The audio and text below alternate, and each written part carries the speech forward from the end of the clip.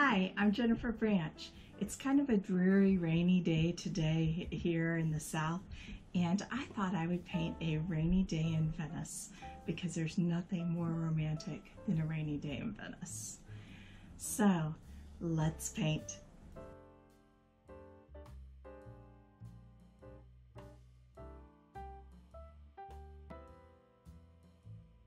I'm using Saunders Waterford paper again, rough press, and I thought you'd like a couple palette shots.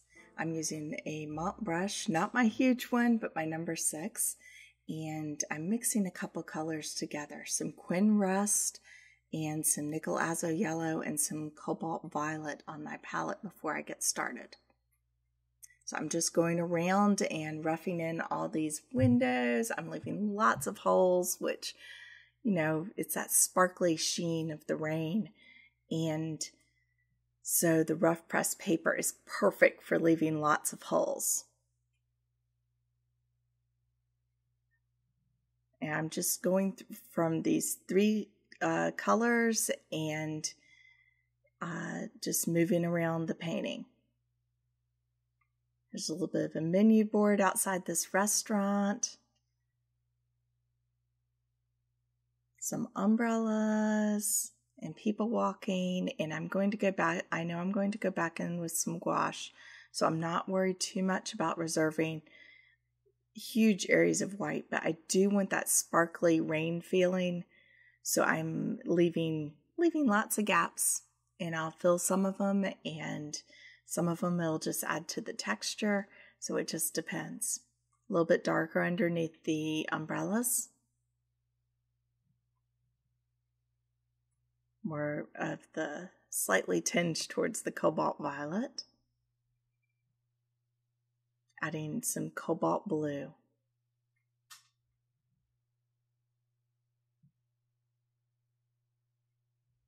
So it's nice and shady underneath the umbrellas.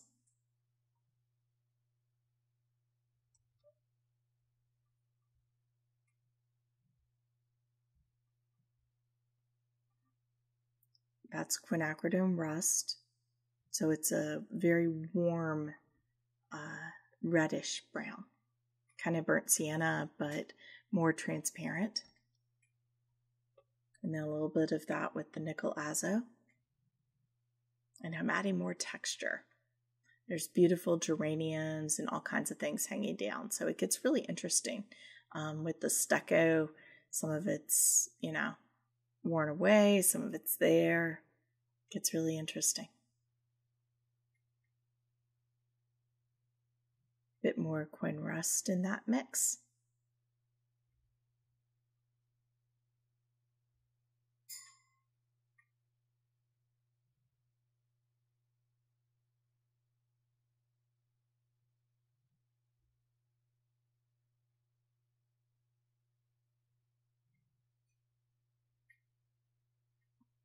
And see, I'm just going around underneath the windows and this is the top of the doors and outlining the umbrellas a little bit. But um, just going around and reinforcing the shapes of the objects. Bit of um, cobalt teal. Just for a little bit more texture. It's a very granulating color.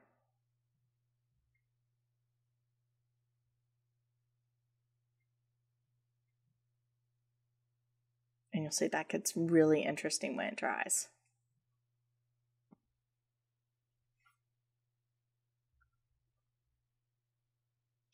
Now it's time to start on one of the more beautiful areas is the old cobblestone streets and the reflections from the rain because it's all shiny and you've got the golden reflections and a little bit of sheen from the rain, and it's just gorgeous.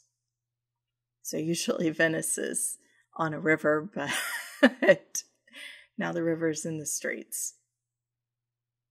Luckily, not for very long. This was just a brief summer shower.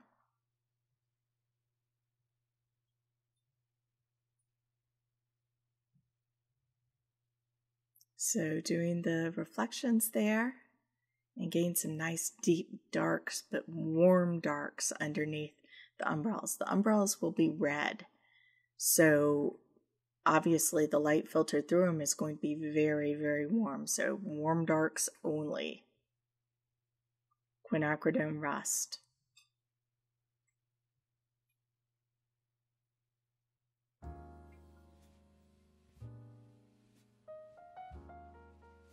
Just a little bit of the cobalt teal in there makes a difference. And now some gorgeous warm colors on the building that's close. It's two very, very warm buildings on either side of this. So that's really interesting basically the warm is surrounding more cool colors in this case, which makes sense because it's a rainy day, so we're kind of highlighting that. So Quin Rust, a little bit of cobalt blue, just to make it that slightly dark but a little bit chalky.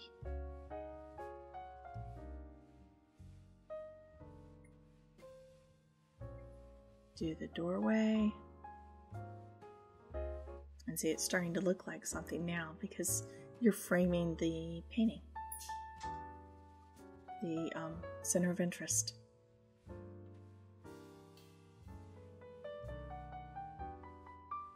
Some blues, doesn't really matter, it just needs to be dark and kind of cool.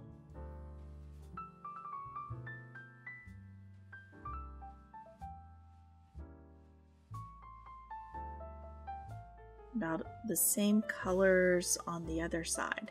And that way it, it repeats it's it's a nice frame.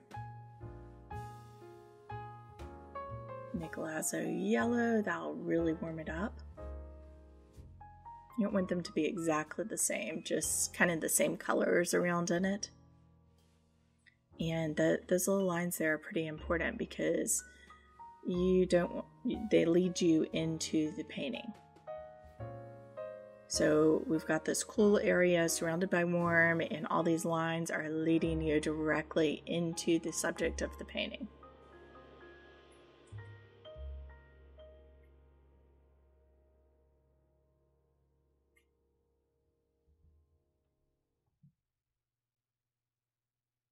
A little bit more detail there.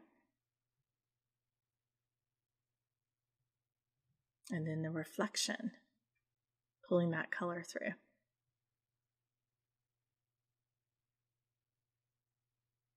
Just takes a bit and it starts feeling feeling like a rainy day.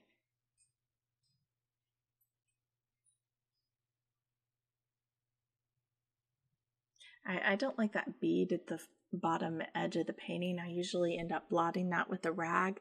It just gets a little um, it's a buildup of color there and I guess I'm I'm also used to painting on the deckle edge stuff a lot and you want to show the edges there.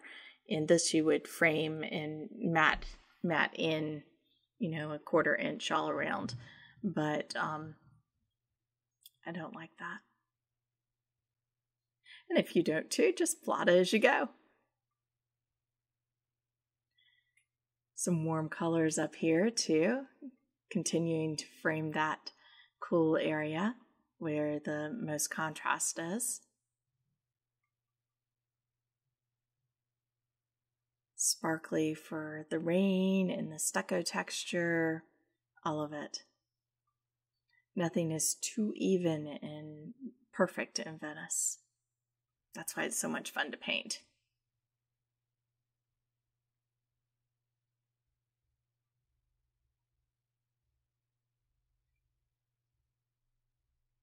But this is the kind of street scene that you could paint.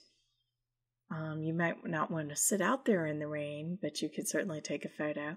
Um, rain and watercolor don't always go together, but um, it's the type of street scene that you could paint anywhere in the world. There's cafes with umbrellas, awnings, whatever, and beautiful long street scenes that pull you into them. Some warmer colors there.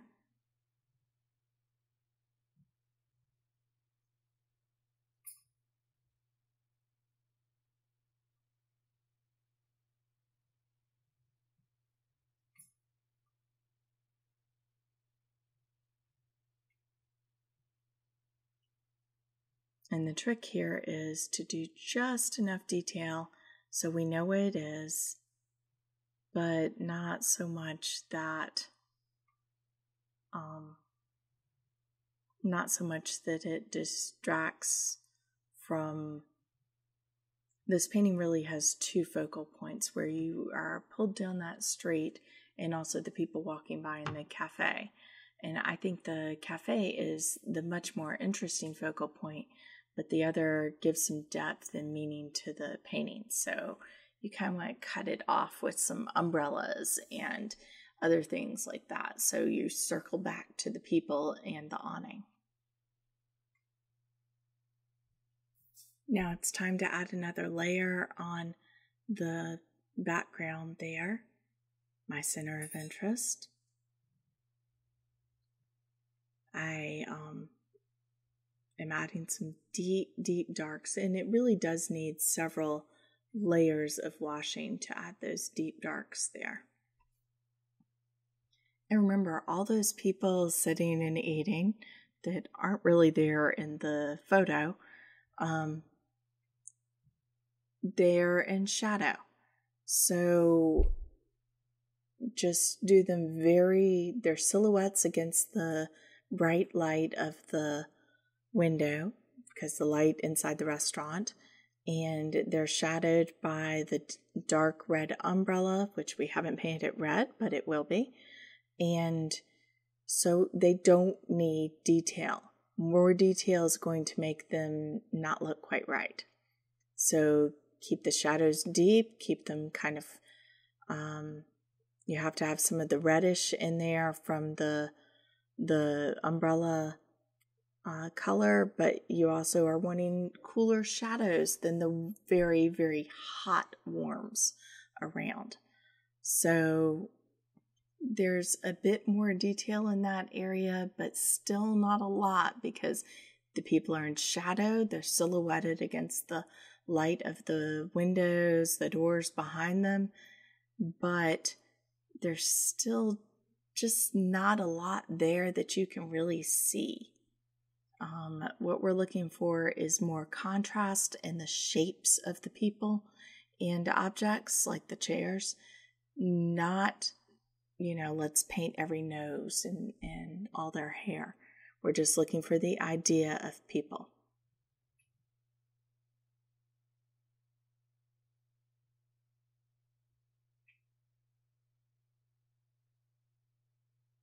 Now we've done a little bit more on the pavement. It's starting to look really interesting.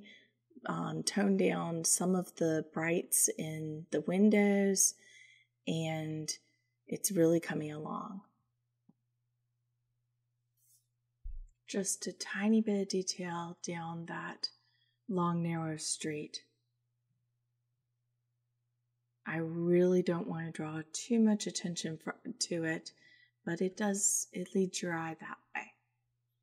So I'm going to lead it there and then stop it. Now it's time for the umbrellas. I still kind of have mixed emotions about this. It was the red umbrellas and they're very beautiful, um, even prettier in um, when it's not raining, but know, this is a rainy day painting. Um, very cheery but I do like that white contrast. I like extreme contrast at the center of interest, and the red does dull down the contrast a little bit. So, eh, it might have been better if I had left them white, but I don't know. Red's pretty nice too.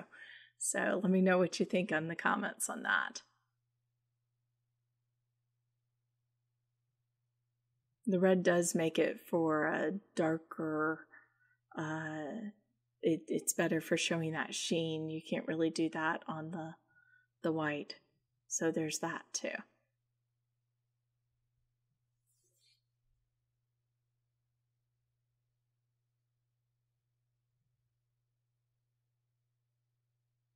And then a little bit of the same red kind of reflecting up there. And the red is done with um, Pyrrole Red and Cobalt Violet.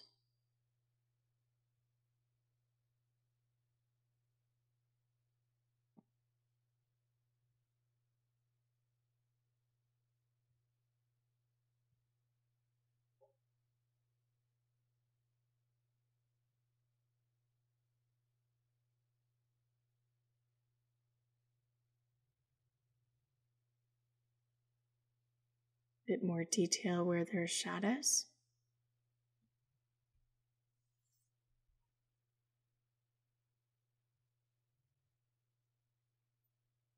And you notice I'm using my smaller sable here. A number eight Isabey.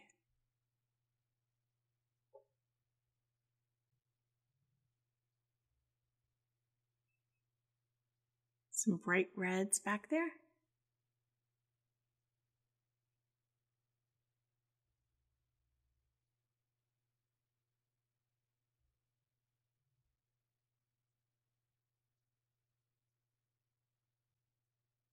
Now it's time for the people that are actually moving and walking in this.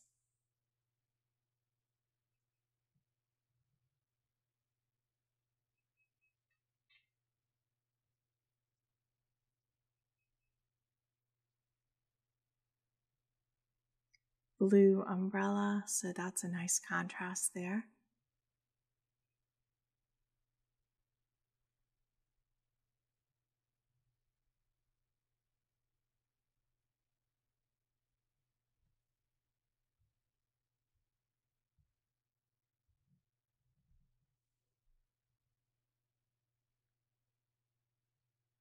And just a little bit of detail, not too much. I'm still wanting, they're still in shadow. It's still kind of a dreary, dark day, and um, the sun's kind of shining through the rain. And so there's some highlights, but there isn't a lot of detail because in the shadows. Shadows rarely have that much detail, and even less when it's kind of an overcast day.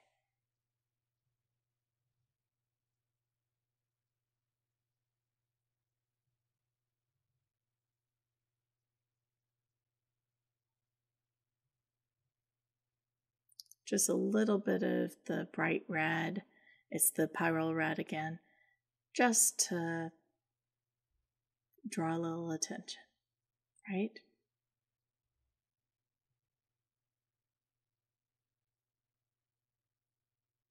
And I'm going to repeat some of the same red in some of the diners outfits. And the geraniums. And it shows, but it's not it's not too contrasty, just just a little bit of color. Just some vague shapes, like maybe there's some more diners back there. The menu board is half in the sunlight or light and half in the shade.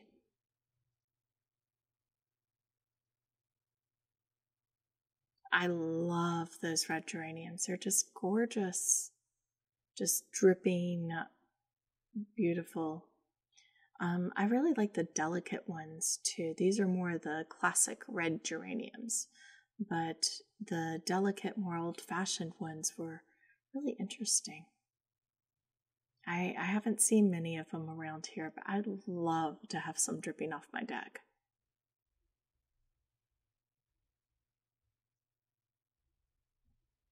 Tiny bit more detail in the back. Just a little bit. And you see, finger painting is all right. See how it looks like there's a lot of detail in the background with those people silhouette, but there really is not very much there.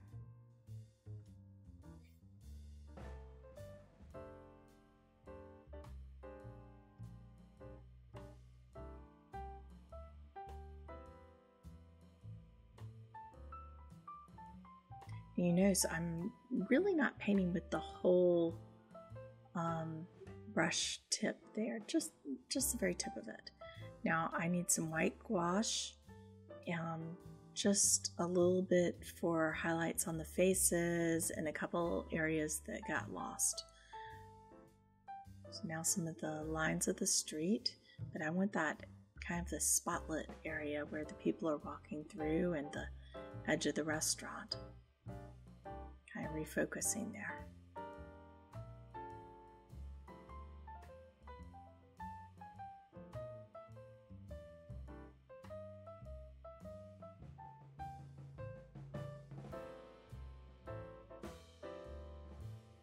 some of the Nickel Azo yellow quin rust.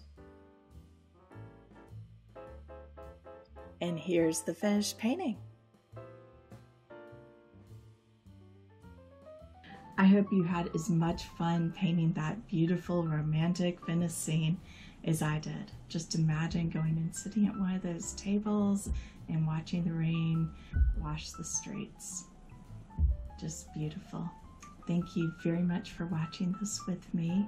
If you have any questions about paint colors or anything else, they're up on my website, paintingwatercolor.com, as usual. And if you have any questions, please ask. I am here to help you. I love I love painting with you. Happy painting.